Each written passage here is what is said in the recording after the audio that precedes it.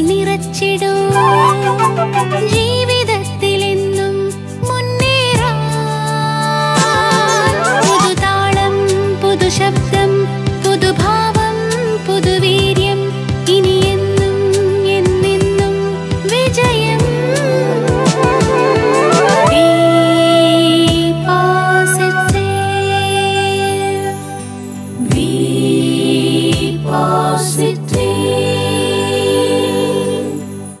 നമസ്കാരം.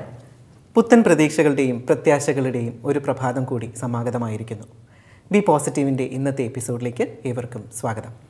അനീഷിന് ഒരു ദിവസം എങ്ങനെ ആരംഭിക്കാനാണ് കൂടുതൽ താല്പര്യം? തീർച്ചയായിട്ടും എനിക്ക് ഒരു ദിവസം സംഗീതത്തിലൂടെ ആരംഭിക്കാനാണ് എനിക്ക് താല്പര്യം. സംഗീതം എന്ന് പറയുമ്പോൾ സിനിമാ ഗാനങ്ങളാണോ അതോ പഴയ കാലത്തെ ഒരു സംഗീതം ഉണ്ടല്ലോ. പഴയ കാലത്തെ സംഗീതം. നാടക നാടക ഗാനങ്ങൾ റേഡിയോ സംഗീതം അതൊക്കെ എനിക്ക് വളരെയധികം ഇഷ്ടമുള്ള ഒരു കാര്യമാണ്.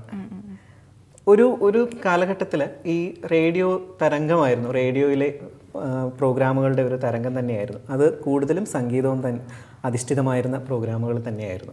പാട്ടിഷ്ടമല്ലാത്ത മനുഷ്യരാരാണുള്ളത്? തീർച്ചയായിട്ടും തീർച്ചയായിട്ടും. നമുക്ക് അങ്ങനെയാണെങ്കിൽ നമ്മുടെ ബി പോസിറ്റീവിന്റെ ഇന്നത്തെ എപ്പിസോഡ് ഒരു ലളിത സംഗീതത്തോടു കൂടി ആരംഭിക്കാം. ഒരു സംഗീതം നിറയ്ക്കുന്ന എനർജി നമ്മുടെ മനസ്സിലും ശരീരത്തിലും ഇന്നത്തെ ദിവസം മുഴുവൻ പരക്കട്ടെ. നമ്മുടെ ആദ്യത്തെ സെഗ്മെന്റ് ശുഭസംഗീതം.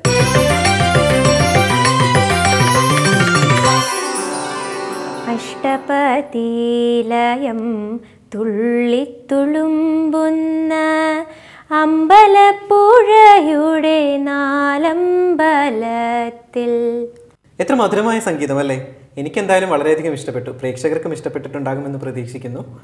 വളരെ നല്ലൊരു സംഗീത വിരുന്നായിരുന്നു. ഏവർക്കും ഇഷ്ടപ്പെട്ടിട്ടുണ്ടാകണം.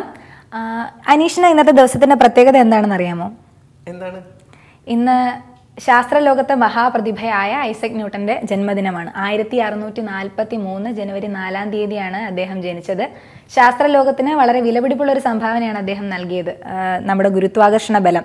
അദ്ദേഹം ഒരിക്കലും ഒരു മരച്ചുവട്ടിൽ വിശ്രമിച്ചുകൊണ്ടിരുന്ന സമയത്ത് തലയിൽ ഒരു ആപ്പിൾ വീണപ്പോൾ അതെങ്ങനെ താഴോട്ട് വന്നു എന്തുകൊണ്ട് മുകളിലോട്ട് പോയില്ല എന്ന് ചിന്തിക്കുകയും അതിന്റെ ഫലമായി അദ്ദേഹം പരീക്ഷണങ്ങൾ നടത്തുകയും നിരീക്ഷണങ്ങൾ രേഖപ്പെടുത്തുകയും ചെയ്തതിലൂടെ അദ്ദേഹം തെളിയിച്ചതാണ് ഭൂമിക്ക് ഗുരുത്വാകർഷണ ബലമുണ്ട് എന്നുള്ളത്.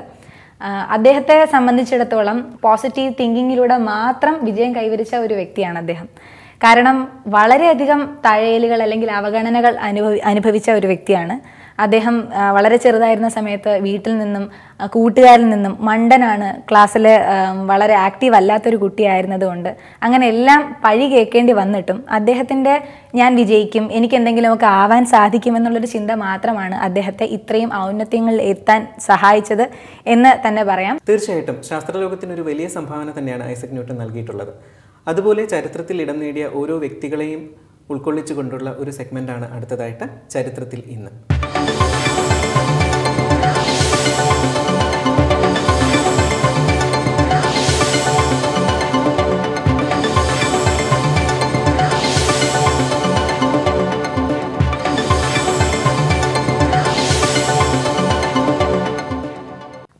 അനീഷ് ഫീനിക്സ് പക്ഷിയെ കുറിച്ച് കേട്ടിട്ടുണ്ട്? ചാരത്തിൽ നിന്ന് ഉയർത്തെഴുന്നേൽക്കുന്ന പക്ഷി എന്നാണ് കഥകളിലെല്ലാം ഫീനിക്സ് പക്ഷിയെ കുറിച്ച് പറയുന്നത്.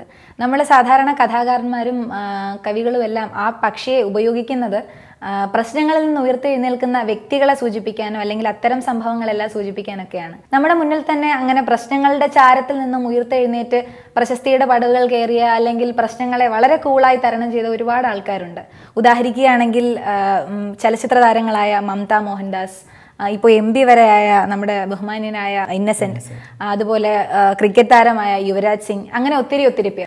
ഇവരുടെ എല്ലാം ജീവിതം ശരിക്കും നമുക്ക് ഒരു പ്രചോദനം നൽകുന്നതാണ്. എത്ര താഴേക്ക് പോയാലും എങ്ങനെയെല്ലാം പ്രശ്നങ്ങളെ അഭിമുഖീകരിക്കേണ്ടി വന്നാലും മുന്നിലേക്ക് മുൻധാരയിലേക്ക് അല്ലെങ്കിൽ ഏറ്റവും മുന്നിലേക്ക് എത്താൻ നമുക്കെല്ലാം സാധിക്കും എന്ന് ഉള്ള ജീവിച്ചിരിക്കുന്ന തെളിവുകളാണ് ഇവരെല്ലാം. അല്ലേ? തീർച്ചയായും. ഇത്തരം ജീവിതങ്ങൾ നമുക്ക് എന്നും ഒരു പ്രചോദനം തന്നെയാണ്.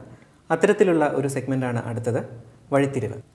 ശ്രീ പ്രവീൺ പരമേശ്വർ അവതരിപ്പിക്കുന്ന വഴിത്തിരിവ് എന്ന ഈ സെഗ്മെന്റ് വളരെ രസകരമായ ഒരെണ്ണമാണ്. അദ്ദേഹം ചെറിയ ചെറിയ കഥകളിലൂടെ നമ്മളിൽ മോട്ടിവേഷണൽ എനർജി നിറയ്ക്കാൻ ശ്രമിക്കുകയാണ്. അദ്ദേഹം ഇന്ന് നമ്മോട് പറയാൻ പോകുന്ന കഥ ഏതെന്ന് നമുക്ക് ശ്രദ്ധിക്കാം.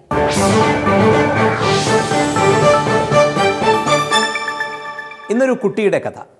പഴയ ബോളിവുഡ് സിനിമകളെ അനുകരിച്ചുകൊണ്ട് നമുക്ക് കുട്ടിക്ക് രാജ് എന്ന് പേര് കൊടുക്കാം. രാജിന് കുങ്ഫു പഠിക്കണമെന്ന് ഒരുപാട് താല്പര്യം. എങ്ങനെയെങ്കിലും കുങ്ഫുവിലൊരു മാസ്റ്ററായി മാറണം. അതിനു വേണ്ടിയിട്ട് ആദ്യം തന്റെ വീട്ടിനടുത്തുള്ള ഒരു കുങ്ഫു മാസ്റ്റർ അടുത്തേക്ക് രാജ് പോയി. മാസ്റ്ററോട് ചോദിച്ചു എനിക്ക് കുങ്ഫു പഠിക്കണമെന്ന് വലിയ താല്പര്യമുണ്ട്. എന്നെ പഠിപ്പിക്കാൻ കഴിയുമോ? മാഷ് രാജിനെ ഒന്ന് നന്നായിട്ട് നോക്കി നോക്കിയിട്ട് പറഞ്ഞു എനിക്ക് നിങ്ങളെ കുങ്ഫു പഠിപ്പിക്കാൻ കഴിയില്ല. ശരി ആയിക്കോട്ടെ. രാജ് അങ്ങനെ രണ്ടാമത്തെ മാഷിന്റെ അടുത്തേക്ക് പോയി. രണ്ടാമത്തെ ആളും രാജിനെ നോക്കിയിട്ട് പറഞ്ഞു എനിക്ക് നിന്നെ കുങ്ഫു പഠിപ്പിക്കാൻ കഴിയില്ല.